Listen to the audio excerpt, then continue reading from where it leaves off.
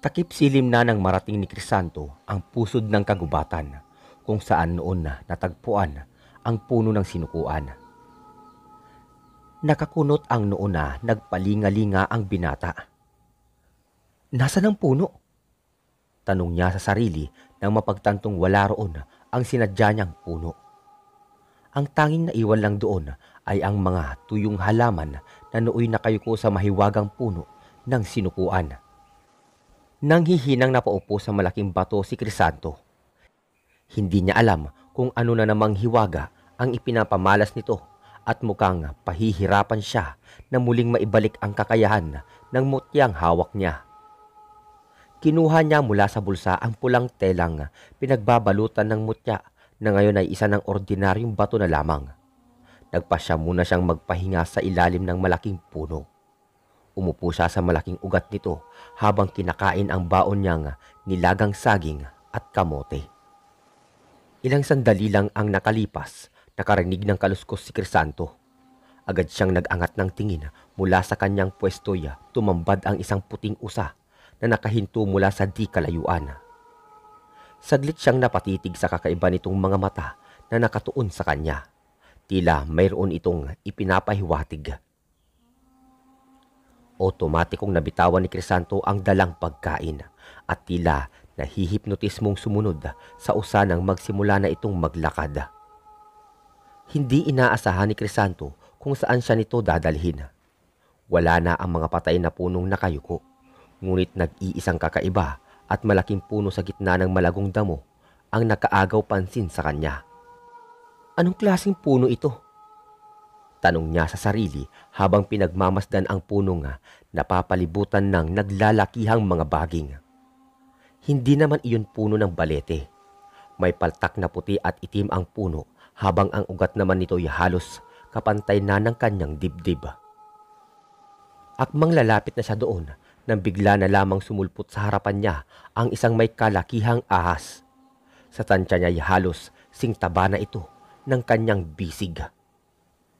Napaatras si Crisanto, ngunit sa pag-atras niya ay bigla na lamang siyang nabuwal nang maramdaman ang kung anong pumulupot sa binti niya. Nanlaki ang kanyang mga mata nang mapagtanto kung ano yun. Nanigas ang leeg na napalingon si Crisanto kung saan nagmumula ang buhok na nakapulupot sa kanyang mga binti. Halos takasan na ng kulay ang kanyang mukha nang tumambad ang isang tumpok ng malagong buhok. Sa unang pagkakataon ay kinilabutan ng husto si Crisanto. Nanigas ang katawan niya't hindi agad nakakilos. Sa tapang ng masansang na amoy mula sa tumpok ng buhok ay lalong hindi na siya makahinga. Nagpumigla si Crisanto ngunit narinig na lamang niya ang halakak ng matandang babaeng gumagapang sa lupa at natatakpan ng makakapal nitong buhok. Kung hindi siya nagkakamali, isang Gumon ang kaharap niya ng mga oras na yun. Isa itong uri ng babaeng aswang na ginagamit ang makapal at buhol-buhol nitong buhok na pinapagapang papasok sa mga mata, ilong at bibig ng biktima hanggang sa tuluyan ng bawian ng buhay. Ngunit ang mas nakakakilabot pa sa nilalang na ito, lahat ng nabibiktima nito'y naiiwang tuyot at durog ang katawan. Nang makahumasa nangyari, mabilis na kinuha ni Crisanto mula sa kaluban ang punyal na gawa sa puno ng sinukuan. Sa puluhan nito ay makikita ang maliit na marka ng krus. Patunay na mula ito sa mahiwagang puno. Napaigik si Crisanto nang dumako naman sa leeg niya ang makapal na buhok ng gumon. Ilang segundo pa lamang ito nga nakalingkis sa kanya ay halos mapatid na ang kanyang hininga. Ipinikit niya ang kanyang mga mata at buong lakas na hiniwa ng punyal ang buhok na nakasakal sa leeg niya. Napahiyaw ang nakakakilabot na nilalang na tila labis itong nasaktan sa ginawa niyang pagputol ng buhok nito. Maliksing kumilo si Crisanto nang makalas ang buhok na pumulupot sa binti niya. Wala pa siyang sapat na lakas upang labanan ang gumon dahil hindi pa nanunumbalik ang kakayahan ng mutya. Ginamit niya ang natitirang lakas upang tumakbo papalayo. Naririnig niya ang paglagitik ng mga sangang nababali dahil sa pagdaan ng gumon na humahabol sa kanya. Nagpalingalinga siya sa paligid upang maghanap ng mapagtataguan. Sakto namang nakita niya ang malaking bato sa di kalayuan. Halos buhati na niya ang kanyang mga paa habang naglalakad doon. Sa gaan ng mga hakbang niya ay halos hindi man lang ito nag-iwan ng bakas sa mga damong natatapakan niya. Malakas ang kabog ng kanyang dibdib habang siya'y nagkubli sa likod ng bato. Pinigil niya ang paghinga ng maramdamang naroon na ang gumuna. Malapit sa kinaroroonan niya. Sunod-sunod na napaantada si Crisanto at piping na nalangin na sana'y hindi siya roon matuntuna. Lumipas ang ilang sandali ay narinig na lamang niya ang papalayong ingay. Makakahinga na sana siya ng maluwag nang maramdaman niya ang kirot sa kaliwang binti. Nanlamig ang buo niyang katawan nang makita ang itim na ahas na kumagat sa binti niya. Agad na namagayon. Sa pagkabigla ay walang pag-aalinlangang itinarak ng binata sa katawan nito ang hawak na punyala. Nangisay ang ahas na noon ay nag-aagaw buhay na. Pinagtuunan niya ng pansin ang nasugatang binti. Mariing ipinikit ni Crisanto ang mga mata nang sumigid ang matinding kirot mula sa sugat. Dinukot niya mula sa bulsa ang baon ng dahon mula sa mahiwagang puno ng sinukuan. Pinitpit niya ito ng maliit na bato hanggang sa maging pino ito bago niya inilagay sa parting natuklaw ng ahas. Pinunit niya rin ang laylayan ng suot na kamisetas upang itali sa binti. Pinagpapawisan ng malapot si Crisanto habang iniinda ang kirot ng sugat. Isinandal niya ang ulo sa pinagtataguang bato at pagod na tumingala. Tama nga si Mang Adora, mapanganib para sa kanya ang gubat kung wala ang bisa ng mutya. Wala na rin ang gabay nitong parating nagliligtas sa kanya. Panginoon, tulungan po ninyo ako na makalabas pa ng buhay sa gubat na to. Anas niya. Matapos yun ay unti-unting nagdilim ang paningin ng binata. Sa mga sandaling walang malay si Crisanto, dinalaw siya ng isang panaginip. Doon nagpakita sa kanya ang isang maputing lalaki. Ngunit ang pinagtataka niya sa itsura nito, tila magkawangi silang dalawa. Ang may kahabaan nitong tenga at ang kulay ng balat ay parehong pareho sa kanya. Ang tanging Pinagkaiba lamang nila ay ang pananamit at ang mga marka sa katawan ng lalaking yun. May ibinulong sa kanya ang lalaki. Mga salitang tanging siya lamang ang tanging nakakaunawa. Nakapagtatakang alam nito ang tungkol sa puno ng sinukuan. Sinabi nito sa kanya kung paano niya muling makikita ang mahiwagang puno. At bago ito umalis, ginamot nito ang kanyang sugat mula sa tuklaw ng makamandag na ahas. Hindi niya na nagawa pang magpasalamat dito nang bigla na lamang itong nawala na parang bula. Ang tanging natanaw na lamang niya ay ang puting usa na kaninang nakita bago makaengkwentro ang gumon. Nang magkamalay si Crisanto, pinagpawisan na siya kahit malamig na sa paligid. Sakalang niya napagtanto na madilim na pala ng oras na yun. Napakurap-kurap ang binata ng maalala ang panaginip kung saan nagpakita ang isang lalaking kanyang kawangis. Agad na bumaba ang tingin niya sa sugat sa binti. Ngunit laking pagtataka ni Crisanto nang wala siyang makitang kahit katiting na lamang na bakas ng sugat doon. Hindi niya mawari kung panaginip lang ba yun o totoong nangyari sa kanya. At ang lalaking tumulong sa kanya hindi ito isang ordinaryong nilalang lamang kung hindi isang engkanto. Uh, hindi kaya siya ang aking ama?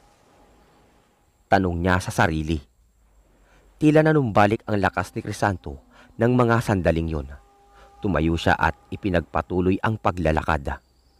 Tahimik din siyang nanalangin na sana'y hindi na niya muli pang makaengkwentro ang gumuna. Habang naglalakad, bigla niyang naalala ang sinabi ng inkantong nagpakita sa panaginip niya. Ipikit mo ang iyong mga mata.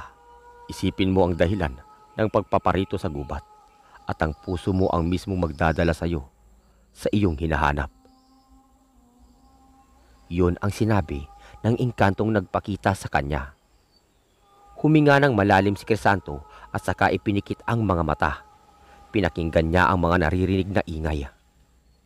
Hanggang sa marinig niya ang kakaibang tunog ng hangin. Humakbang siya para sundan yon. Isa, dalawa at ilang pang mga hakbang. Kusang huminto ang mga paa niya at naramdaman ng malamig na samyo ng hangin.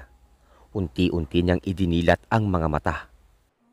Napangiti ang binata nang tumambad sa kanya ang puno ng sinukuan na naroon mismo sa kung saan niya ito unang nakita. Ang nangyari sa kanya'y kaninay, tiyak na isang uri ng kababalaghan. Maaaring pinaglaruan siya at iniligaw ng iba pang inkantong nanananahan sa gubat. Maingat siyang lumapit doon, ngunit sakto lamang sa pwestong hindi siya maaabot ng anino ng puno na tinatamaan ng liwanag mula sa buwan. Itinarak niya ang punyal sa lupa at saka lumuhod doon para simulan na ang orasyon. Makalipas ang ilang sandali na wala ang anino ng puno at malaya na siyang nakalapit sa puno ng sinukuan. Kinuha niya mula sa bulsa ang mutya. Malawak siyang ngumiti nang magkaroon na muli ito ng buhay. Patunay na bumalik na ang bisa nito. Agad siyang naglakad. Sabik siyang makabalik at ibalita kay Mang Ador na nagtagumpay siya sa kanyang balak. Ngunit nang makababa ng bundok si Crisanto, hindi niya inaasahan ang kanyang madarat nana. Sa kalsadang daraanan niya, may mga bangkay. Tuyot na ang mga ito na animoy ilang araw nang naaagnas at mukha pang pinapak ng mababangis na hayop. Natutop niya ang bibig at pinisilang ilong nang umalingasaw ang nabubulok nitong amoy. Kinilabutan si Crisanto nang maisip ang gumon. Tiyak na nakababa na ito mula sa bundok at nagsimula ng magkalat ng lagim sa kanilang baryo. Malalaki ang hakbang na tinungo niya ang bahay ni Mang Ador. Malakas ang kabog ng dibdib na binuksan niya ang tarangkahan ng matanda. Mang Ador! Mang Ador! Sigaw niya mula sa labas ng kubo. Ngunit walang sumasagot sa kanya. Pagbukas niya ng pinto, nanlaki ang kanyang mga mata. Umalsa ang matinding galit sa dibdib niya nang maabutan si Mang Ador at ang kanyang ina na pawang wala ng buhay. Tuyot na ang katawan ng dalawang matanda. Sa dalawang mata ng mga ito'y may naiwan pang makapal na hibla ng mga buhok na tiyak niyang mula sa gumuna. Hindi nag-aksaya ng oras si Crisanto. Bago pa man tuluyang sumikat ang araw, ay ginalugad na niya ang buong baryo. Mahanap lamang ang babaeng aswang. Sa gabay ng mutya, hindi na siya nahirapan pang matuntun ang kinaroroonan ng hinahanap niyang aswang. Sa tabi ng tigang na ilog, natagpuan niya ang makapal na tumpok ng mga buhok na tila ahas na gumagapang. Nanlisik ang mga mata ni Crisanto nang ilang dangkal na lamang ang layo ng buhok sa kanyang mga paa. Kinuha niya ang punyal, gayon din ang posporong ipinangsindi niya sa salang sulo. Takot sa apoy ang gumon dahil sa oras na matupok ang kumpol ng mga buhok nito'y labis itong manghihina at kung mamalasin ay maaari pang ikamatay. Pinatay mo ang dalawang mahalaga sa akin, kaya titiyakin ko hindi ka na muli pang masisikatan ng araw. Itinaas niya ang punyal at buong lakas na tumalon. Ngunit sadyang maliksi ang mahabang buhok ng gumon na tila ahas na lumingkis sa kanyang braso. Dahilan upang mabitawan niya ang hawak na punyal at sulo na hindi pa niya nasisindihan. Gumapang ang buhok sa kanyang muka. Pinuntirya nito ang kanyang mga mata. Ngunit nabigo ang nilalang. Tila napapasong nabitawan niya ito. Bumagsak siya sa mabatong lupa. Sa lakas ng pagkakabagsak ni Crisanto ay wala man lang siyang naramdamang kirot. Sa kabila ng pagtama ng tuhod niya sa mga bato. Sinamantala niya ang pagkakataong makuha muli ang sulo at walang pag-aatubili itong sinindihan. Ilang saglit lang, lumiwanag ang paligid dahil sa apoy na mula sa hawak niyang sulo. Napaatras ang gumon. Nawala ang mahaba nitong buhok na nakapalibot sa kanya. Nang oras na yun, hindi na kumpol ng mga buhok ang tumambad sa kanya, kundi isang matandang babaeng may nakakakilabot na mukha. Tila naaagnas na ang bangkay na mukha nito. Umaalingasaw ang nakakasulasok na amoy, ngunit hindi na ito alintana pa ng binatang albularyo. Malalaki ang hakbang na sinugod niya ang matandang aswang. Binato niya ang apoy sa makapal nitong buhok. Dinampot niya ang punyal at buong lakas na itinarak sa dibdib ng nilalang. Humiyaw ang matandang aswang na tila katapusan na ng buhay nito. Nagtagis ang mga bagang ni Crisanto nang bumagsak ang katawan ng gumon sa lupa. Mabilis na natupok ang malago nitong buhok hanggang sa matira na lamang ang sunog nitong ulo. Tinapakan ni Crisanto ang liig ng gumon at tiniyak na tuluyan na itong malalagutan ng hininga. Pagkatapos ng pakikipaglaban ng binata sa isa na namang uri ng aswang, muling nanumbalik ang katahimikan sa baryo nila. Ang lahat ng ginamot ni Crisanto ay isa-isa niyang sinadya sa tahanan ng mga ito upang ulitin ang ginawang panggagamot. Ginamit na rin niya ang pagkakataon para humingi ng tawad sa mga nagawa niyang pananamantala noon. Akala namin, hindi na babalik sa dati ang Crisantong nakilala namin. Wika ng matandang sumugod kay Crisanto noon. Personal na rin itong humingi ng tawad sa ginawa nitong pamumuno sa pagsugod sa kanilang kubo ng araw na kinailangan nilang tumakas ng kanyang ina. Ngumiti siya sa matanda. Huwag ho kayong magalala. Hanggang sa pagtanda ko, ay mananatili akong manggagamot dito sa baryo ng walang hinihintay na kapalit. Pero kung patitikimin nyo naman ako ng masarap na tinola, eh mas ayos ho yun. Biro pa niya sa matanda. Natatawa nitong tinapik ang balikat niya. Maya-maya lang ay bahagyang natigilan si Crisanto nang makita ang mag-asawang inaakay ang isang babae na nasa tingin niya ay wala ng malay. Puno ng malalaking bukol ang mga braso nito. Bahagya na ring humpak ang nangingitim na mukha ng dalaga. Crisanto, tulungan mo ang anak namin. Mukhang kinulam si Rebecca. Pakiusap. Huwag mong pabayaan ang dalaga namin. Sabi ng lalaki na siyang ama ng walang malay na dalaga. Inilapag ito ng mag-asawa sa papag upang suriin ng binata. Napailing siya nang makita ang umbok na tiyan ng babae. Mukhang kinulam nga ito. Sinimulan niya ang pagtatawas na sinundan din ng ginagawa niyang orasyon upang tanggalin ang sumpa ng kulam gamit ang gabay ng mutya ng sinukuan. Tinanong niya ang magulang nito kung nais ng mga ito na ibalik niya ang kulam sa sino mang gumawa nito. Sige, gawin mo. Nang mabigyan ng leksyon ang sino mang naiinggit sa anak ko.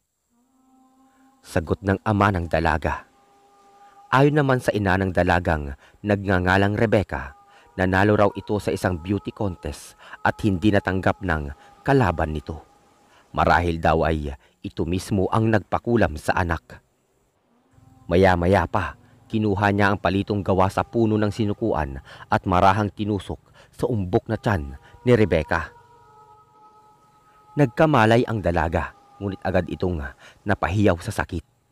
Butil-butil ang pawis nito habang sinasagawa ni Crisanto ang orasyon. Hanggang sa tuluyan nang mawala ang sumpa ng kulam. Kinabukasan lang ay natuntun na rin ni Crisanto ang kumulam kay Rebecca. Dahil ang intensyon lamang niya mabigyan ito ng leksyon sa ginawa niya. Hindi na niya pinatagal pa ang ibinalik na sumpa ng kulam dito. Lubos din ang pasasalamat ni Rebecca nang bumalik sa dati ang maayos nitong kalagayan. Dahil doon, nagbigay ng dalawang inahing manok ang mga magulang ng dalaga. Nako, nag-abala pa kayo. Nahihiyang sabi ni Crisanto nang si Rebecca pa mismo ang naghatid nito sa kanya. Ah eh, nabanggit kasi sa amin ni Mang Lito na paborito mo raw ang tinola. Kaya manok na lamang ang ipinabigay ni tatay. Sabi ng dalaga. Napakamot naman sa batok ang binata at napilitan na lang na tanggapin ang dalawang inahin. Iyon na rin ang simula ng pagiging malapit nila sa isa't isa. Nagpatuloy sa panggagamot si Crisanto kahit wala na si Mang Ador na gumagabay sa kanya. Tinupad niya ang pangako sa matanda na kailanman ay hindi na muli pang aabusuhin ang kapangyarihan ng mutya. Pinatunayan din niya na tama ang gabay ng mutya na siya ang napili nitong ah, tagapangalaga. Ayun, so natapos kaagad natin to. Finale kaagad, di ba? Ac- actually, ah, season 2 to, mayroon yung pinakauna, yung mutya ng sinukuan. Ah, nasundan ng dalawa. Ito yun, 1 and 2. Bali tatlo to eh. Nasa playlist nakalagay para masundan nyo ng maayos yung kwento. So tulad ng promise ko, ah, may shoutout tayo, mabilisan lang. Okay, ah, shoutout sa'yo, RJ Fuentes. Yan, bagong sub. Maraming salamat. Ah, shoutout din kay Rodi de la, Rodi de Cruz, kay Erica, Mariam Alotaybi, Betty Velasco, Rosette Ersando, Jonel Rosales Balin, ah, Teresita Aguilar, kay Assorted Love Hurts, Angelo Criligo, Gay Somodio, Albert Lalusin, Roda Garbida, Anthony Ramos, ah, Jory Alta, Altavilla, kay Miss Kat Burglar, kay Ricky Galos, at kay Nida Kiambao. So yun muna ang ating shoutout at kita-kits tayo sa susunod na kwento. Maraming salamat at mag-iingat po kayo palagi.